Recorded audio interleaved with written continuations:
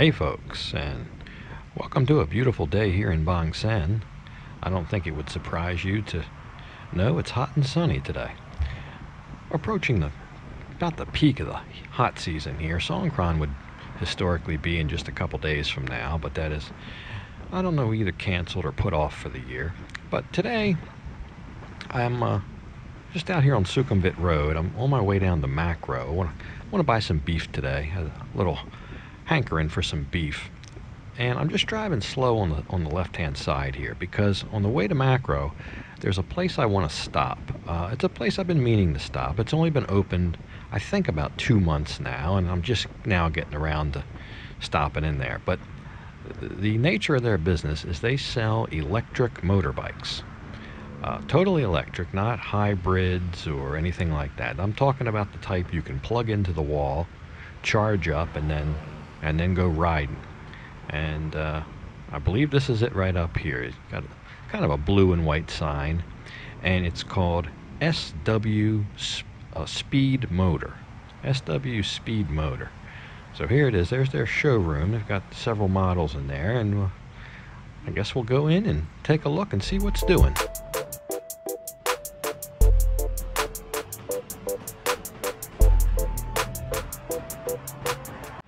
So,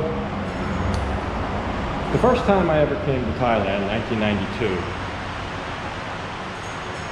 most every scooter was what's known as two-stroke. And to save you from all the technical, they, they basically sound like this.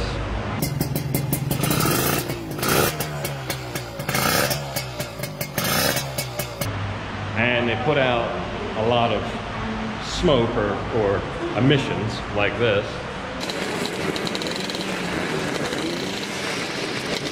But they're, they were very efficient and they made they, they were able to make power very quickly, almost frenetically. And for that reason, I like them.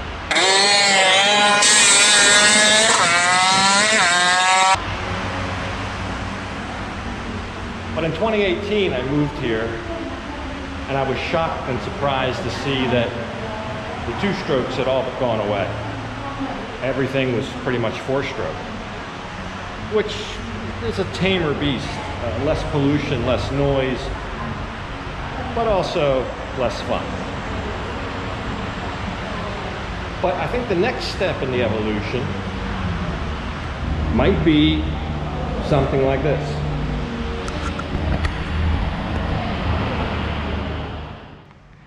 So what exactly is this thing?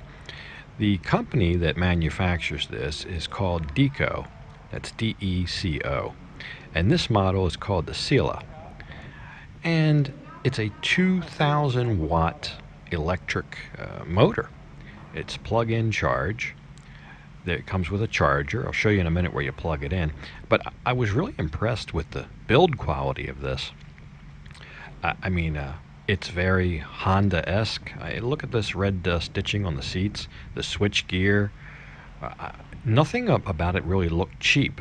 Um, and, and, and, the price of it, uh, you wouldn't say it's cheap. This this the price of this is for forty nine thousand nine hundred ninety five. So just say fifty thousand baht.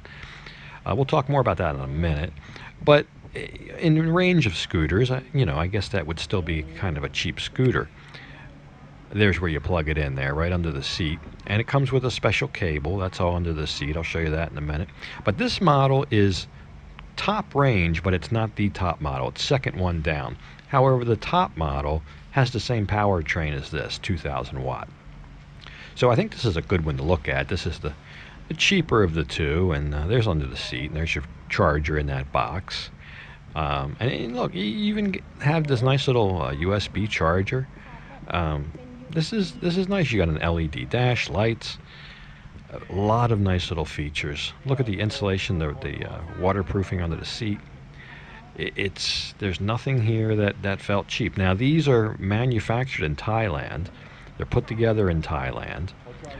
The, parts look like they come from a parent company in Taiwan, which allegedly has 15 years of uh, experience building electric bikes And look at the keys. You even get keyless remote. Um, look at that.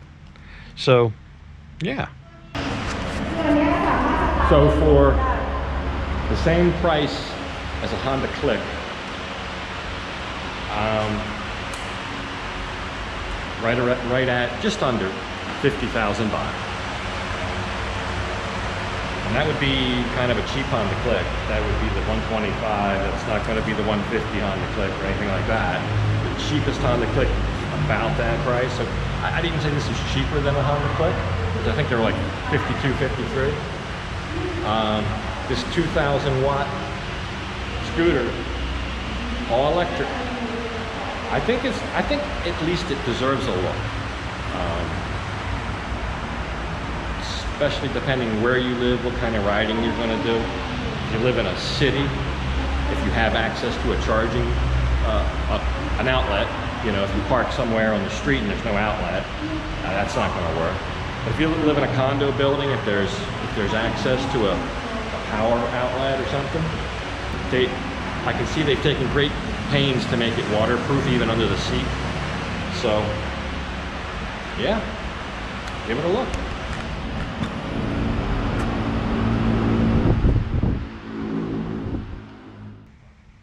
So there's other models in here as well.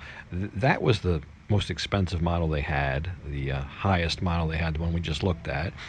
This little red one here, uh, all the rest of these in here are only 1,000 watts, so half the power uh, from the other one we just looked at. The white one over there, the pink one, all of these are 1,000 watters. Now those start about 10,000 baht less. So you can get into one of these 1,000 watt jobs for as little as around 40,000 baht. Actually, I think they start at 39, 39 995. Um, now, anytime there are electric vehicles, uh, the the big expectation is you'll save money on gas. But then people start asking, well, what's the electricity going to cost me?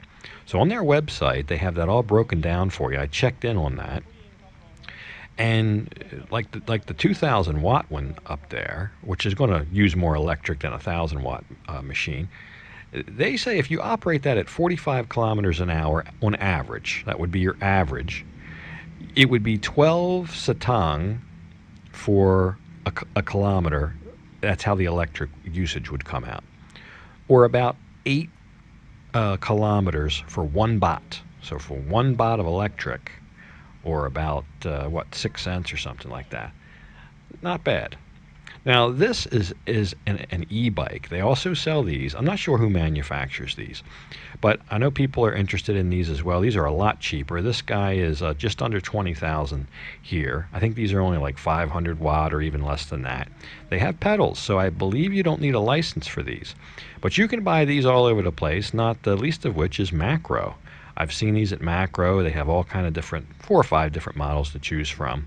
Uh, starting in the high teens, 17, 18, going up to the low 20s, up to about 22 or something.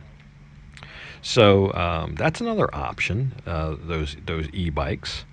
I, don't know that I'd want to pedal, but some people might like that. I mean, that is a definitely a that's definitely another option, another way to go. Um, all in total, they had like five different models in here, not even not counting the e-bike. So if you count the e-bike, that would be six. And they're just getting going here. This has only been open two months. You, it kind of has that look about it that it's new. Uh, they're just kind of getting set up, and they have a they don't have much stock yet. But this, if this takes off, this this could grow. Yeah.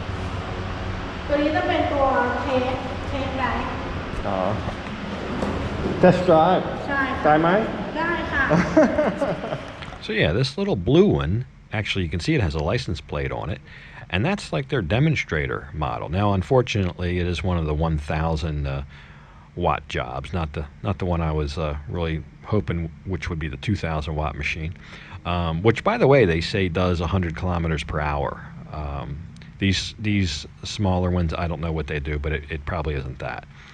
But she's got to show me how to work it and everything here. It, basically, it's a key that you uh, activate the key, turn it on, or whatever, and then there's a button that you have to kind of hold in, and I guess that kind of puts it in drive. So once that's engaged, then you just twist the throttle. Then you're kind of like a on a normal bike. There's no gears to switch.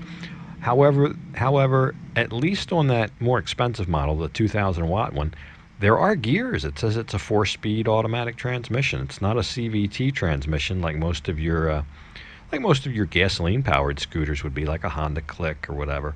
I compare that other one to a Honda Click because the dimensions are almost uh, exact, although this one is a tad bit larger. So it was a little bit weird. Same, same sensation I got with an electric car the first time I drove an electric car. There's no noise, it's perfectly silent, it's perfectly smooth. You just touch the, the throttle and it, it starts moving. It almost surprises you a little bit. Uh, that goes away. I remember that, like I said, I remember that from driving an electric car the first time. That, that, that you get used to it, but at first it's a little off-putting. Um, you almost, it almost feels like the vehicle's doing it on their on its own uh, because it's not making noise. It doesn't give you the, the normal feedback that you would be accustomed to. But, ah, maybe one day. I don't know if it's for me, uh, but it might be for somebody. So I was thinking, as quiet as those bikes are, if you live in the kind of circumstance where you might want to slip out of the house undetected at night, that might be the bike for you. I also noticed that these bikes are very comparable in price to their gas uh, burning counterparts, unlike cars. Um, you can get your start getting your return on your investment right away on these uh, with the savings in gasoline. So that's a notable factor. Uh, the other thing I would leave you off with is I, am no authority on these or experts. I just went to look at them for the first time today. So uh, there may be many questions about them.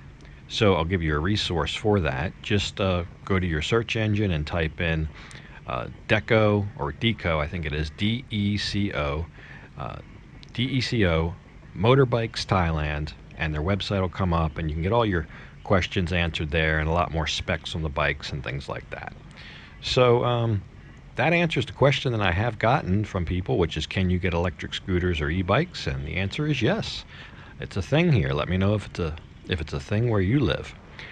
Uh, but anyway, I'll go ahead and uh, leave this one off here, and I'll I'll thank you for watching. And until next time, bye for now.